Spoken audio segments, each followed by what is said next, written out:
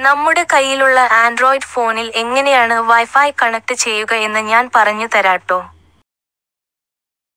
ഫോണിന്റെ മുകൾ വശത്ത് നിന്നും താഴോട്ട് നീക്കിക്കഴിഞ്ഞാൽ ഇതുപോലെ വൈഫൈ എന്നെഴുതി ഒരു ചിഹ്നം കാണാൻ കഴിയും. അതിൽ ഒന്ന് അമർത്തിപ്പിടിക്കുക. ഇനി ഏറ്റവും മുകളിലായി കാണുന്ന ടേൺ ഓൺ വൈഫൈ എന്ന ഓപ്ഷനിൽ തൊടുക. ഇപ്പോൾ വൈഫൈ ഓൺ ആയി കഴിഞ്ഞു. ഇനി താഴോട്ട് നോക്കിയാൽ അവൈലബിൾ നെറ്റ്വർക്ക്സിനു താഴെ നമുക്ക് ലഭ്യമായ വൈഫൈ സിഗ്നലുകളുടെ പേരുകൾ കാണാൻ കഴിയും. അതിൽ നിന്നും നമുക്ക് കണക്ട് ചെയ്യേണ്ടത് തിരഞ്ഞെടുക്കാം. ഇവിടെ ഞാൻ ഐഫോൺ എന്ന പേരിലുള്ള വൈഫൈ സിഗ്നൽ ആണ് സെലക്ട് ചെയ്യുന്നത്. ഇനി അതിന്റെ പാസ്വേഡ് എത്രയാണോ അത് ടൈപ്പ് ചെയ്യുക. അതിനുശേഷം കണക്ട് എന്നതിൽ തൊടുക.